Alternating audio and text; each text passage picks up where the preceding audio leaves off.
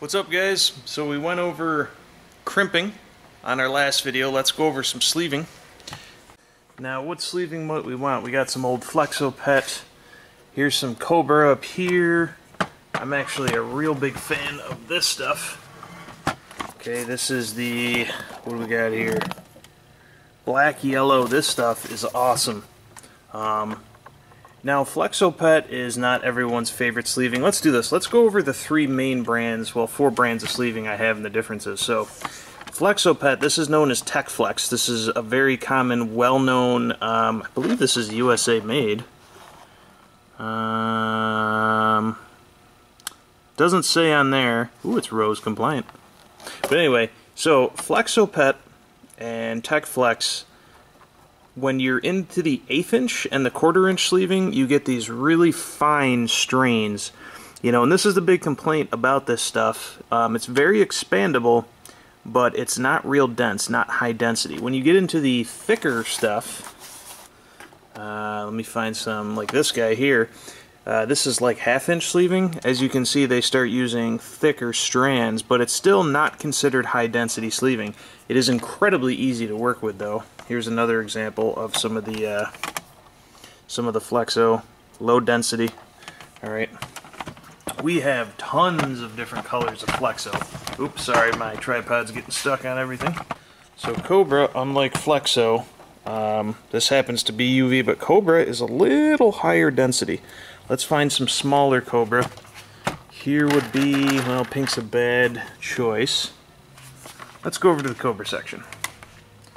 Alright. So for example, it's one of my favorite colors in Kobra especially. Sorry about the camera guys, doing my best here. It's not as easy as it looks to be a YouTuber. Not that I'm a YouTuber. But anyway, so Kobra, fairly high density, doesn't quite flare up as much, but that's what they mean by density is just how much of the wire or material you'll see underneath. The densest stuff we have is going to be Bitspower sleeving. Alright, let's grab some Bitspower. Now as you can see, this stuff is stupid dense, and it doesn't really expand at all. We'll zoom right in on that. That stuff is stupid dense. Alright, but not very expandable. It's hard to work with, but it looks great. The Kobra sleeving, which, again, to compare, here's some more Kobra. Sorry about the camera a little bit less dense. This is kind of your standard high quality sleeving, I would say. Um, let's compare that back to some more Flexo Pet or uh, TechFlex, just so you can see. So here's the TechFlex again. See how it's less dense. Now we also have Lutro sleeving, which Lutro's been gone for a long time. Uh, if you don't know who Lutro is, look him up. He does a lot of good old school sleeving videos. Here's some. Oh, sorry. One second, guys. Here is some Lutro Telios. Alright, here's an example of some, and his stuff is pretty high density as well. It's, uh, I would say it's between, it's between Kobra and Bitspower. We have tons of Lutro, um, really nice colors. Okay, like, look at that blue that like textured blue. That would look really good with Noctua right there. Teleo sleeving, definitely nice. Um, so yeah, we got tons of this stuff. So if you guys need sleeving, and this is just what's out, we got boxes of this stuff too. Boxes upon boxes. Anyway, let's sleeve some cables.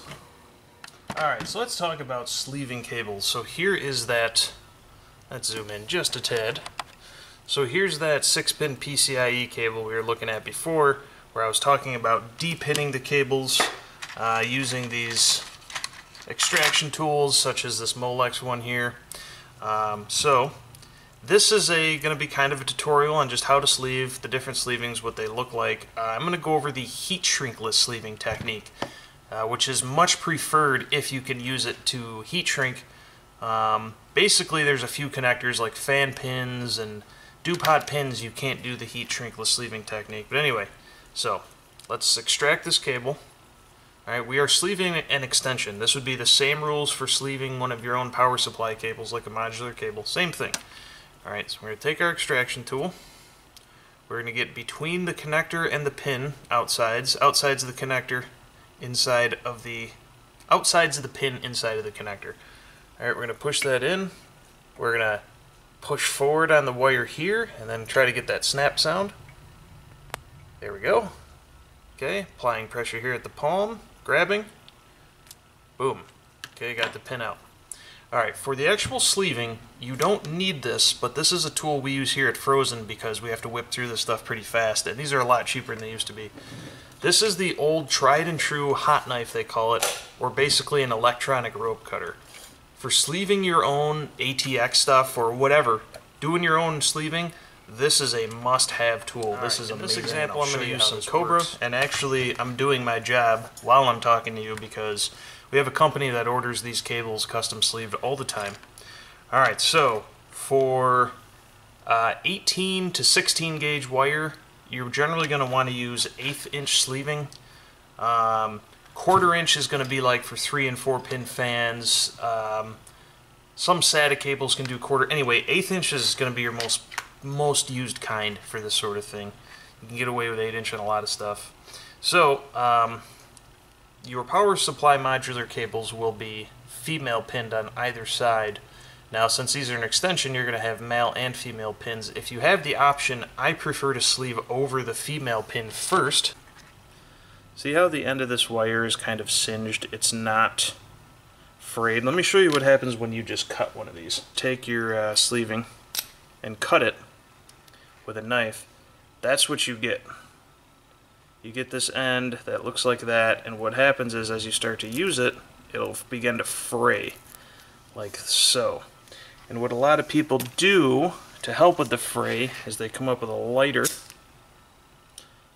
and uh, just kind of singe the ends of those, which that will work. Of course, this one's already frayed. But what I like to use, if you can afford it, or if you want to afford it, because they are somewhat expensive, hot knife. Okay, same thing as an electric rope cutter. You come right down on here, and boom, you got a perfectly singed off piece. Okay, that's what we do with all of our sleeving at Frozen. Anything cut for a customer. Um, anytime we cut sleeving, we cut it with a hot knife or an electronic rope cutter. It's just, it's a must-have tool for this. You will get your sleeving done much faster if you don't have to sit there with uh, angle cutters and cut it off. Alright, so starting at the male end, now that we got that singed so it won't fray, what you can do is actually take your finger and kind of balloon this up a bit if you need to, or kind of split it where it's melted so that it'll open up if you have to. See that? And we're just going to get it over there. Now I'm holding this wire tight, and I'm grabbing around the back of the connector and pushing that over. For the first few inches, you'll be able to just push it over, but then you're going to have to do the inchworm technique, I call it. Grab the sleeving by the end of the connector, not so much the wire, because the wire will bend. Okay, grab this end and push. And this is going to take some fiddling with. See how it's it's kind of doing an inchworm move, and then we release on the other hand. And it's sort of hard to explain, you just have to do it. Basically, I'm inchworming over and sleeving this cable. Okay, this is the fun part of sleeving, is just putting it on. Alright, now, as you can see, we've we've sleeved over. What you want to do periodically is take your finger, stretch that sleeving out. You want your sleeving stretched and taut. So let me go ahead and finish this one.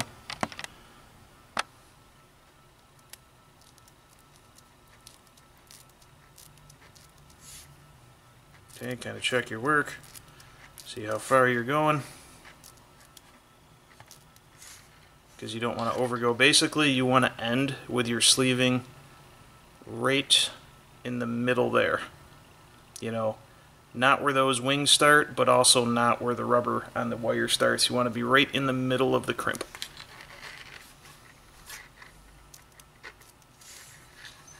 Okay, so I actually just went a little too far, and that's a little far forward. What I'm going to do, though, is take this, pull the wire, the sleeving back a little, and then I'm going to stretch it out the other way. And what's happening is you can see where some of the slack is. We need to work out. Go back. Check.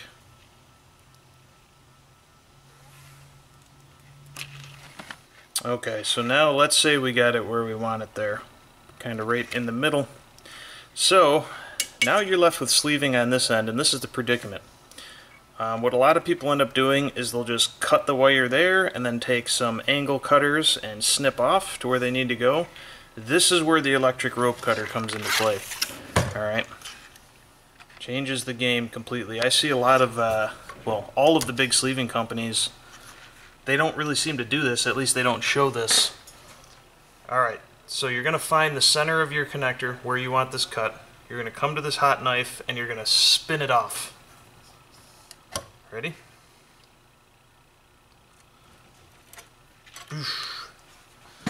And as you can see, now we got that cut right there where we want it to, and we don't have to singe it with a lighter or anything. Alright, now I'm going to come back and stretch this sleeving out. Sorry, I always zoomed the wrong direction first. Okay. There we go. So, our sleeving is right in the middle of the connector on that side and right in the middle of the connector on that side, and it's even that way under tension. Now, if we do need to cut off a little bit more, we can come in and just remove a bit, or take your angle cutters. Alright, so now we're going to do the actual heat shrinkless sleeving technique. Um, even though it's called heat shrinkless, you still have to use heat shrink, um, ironically. Now, eighth inch heat shrink is probably what you're going to want to use in eighth inch sleeving. If you can get heat shrink that has a higher ratio than 2 to 1, 3 to 1, or 4 to 1, uh, it's going to be great. And if you can get transparent or even semi-transparent heat shrink, that helps. So I'm going to do is just cut this in half. Oops. I'll slice one of these in half.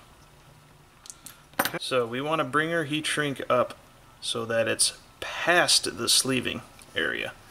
Okay, so the heat shrink is past the center of the crimp.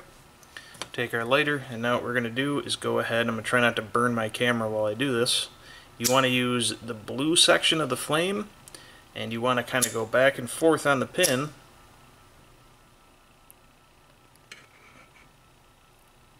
And now I'm not done yet, but as you can see, it's starting to look melty in there, because that's what you're doing. You're essentially, you're melting the sleeving over the connector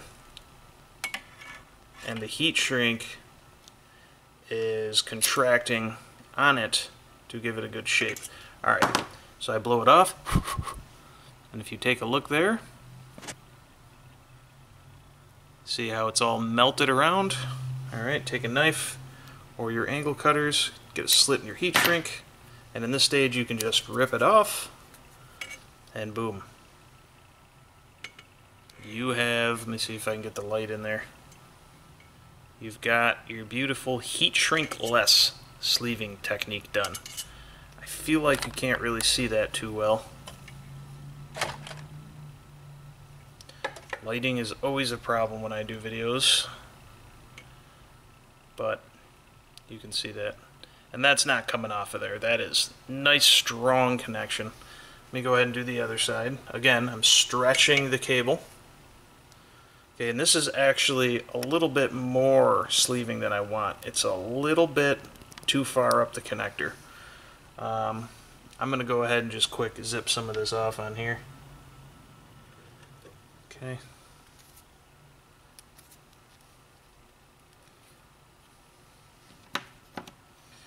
So I basically just melted some more of it off. Okay, I'm going to stretch this again. Put that over the connector. Actually, if it's a problem, you can go from the side you've already sleeved. Okay, stretch it. Always make sure it's stretched as tightly as you can. So I'm holding the, the tension with this hand, which I've stretched. I'm using these fingers to push this forward. Alright, this just takes practice, guys. You just got to do this a hundred times to really get it down. Sleeving is not really hard. It's just time consuming and it's kind of artsy. Okay, so we got that nice melty look. Get a little blow off, cool down.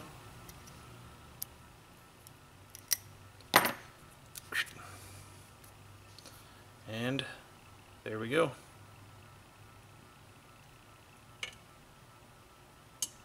Oop, man, this is hard to show.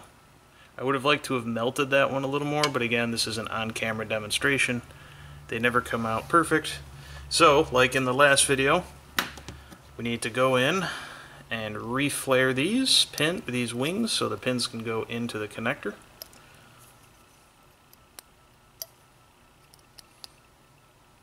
Okay. Now we got our ATX cable. Going to put in that side. Nice easy click. We're going to put it into the fem we're going to put into the female connector. Nice click. And there you go. You just have a beautifully sleeved cable.